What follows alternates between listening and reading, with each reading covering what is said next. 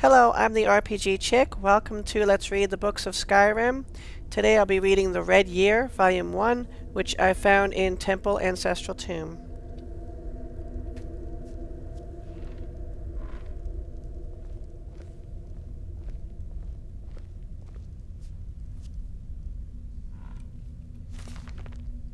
The Red Year, Volume 1, by Melis Ravel.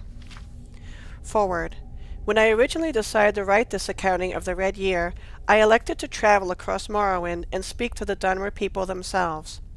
I sought first-hand accounts and personal views about the cataclysmic event.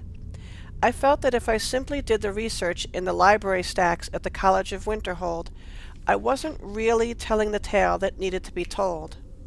What struck me as I moved from city to city, town to town, camp to camp, is that all of the Dunmer I met shared an incredible bond of sheer courage and unshakable faith.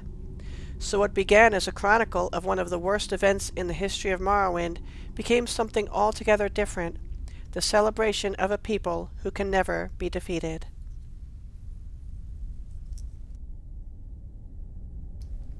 Dralin Ves, Tear. The ground, it just turned into mush. There was almost no warning. I mean, we were what, perhaps a mile from the nearest swamps, it was like the swamps suddenly swallowed up half of the city.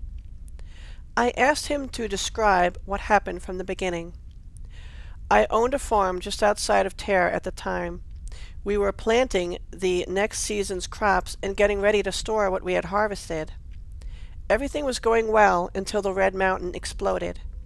Almost immediately, the ground rumbled and shook. Cracks started forming everywhere, and then the water just started seeping through. It was awful. In a matter of hours, I was knee-deep in swamp water, running for my life. Where I was running, I had no idea. At first I ran towards the city itself, but it looked like the walls were cracking. All around me, people were desperately trying to save their livestock and their families from the rising water. Just when the ground shaking finally died down, and I had a moment to think, there was a horrible cracking noise. I'll never forget it, because I knew what it was before I looked.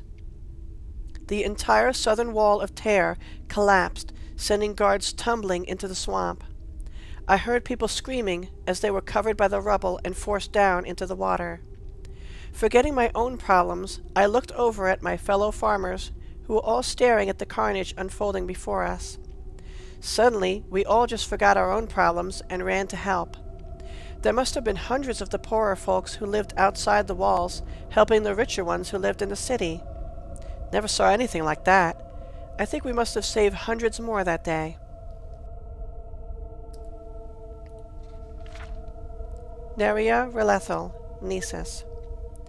Neria was badly burned by the eruption and had trouble speaking to me. She was currently convalescing at the Temple of Azura in Blacklight, even after all these years. I've tried to record her story to the best of my ability. It was such a terrible thing. The fire, it burned everything in its path. It flattened trees, turned our huts into splinters, and knocked over towers like they were made from parchment. It all happened in an instant. A rumbling sound, then a massive wall of flame. It was so high it blocked out the sun. I thought that the world itself had split apart.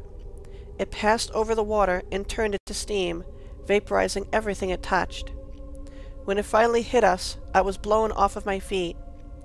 Didn't even have time to run away or seek shelter.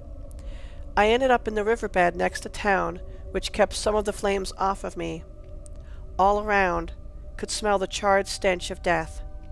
There were Dunmer that were burned alive, and some never even saw it coming. I lay in that riverbed for two days before the healers found me.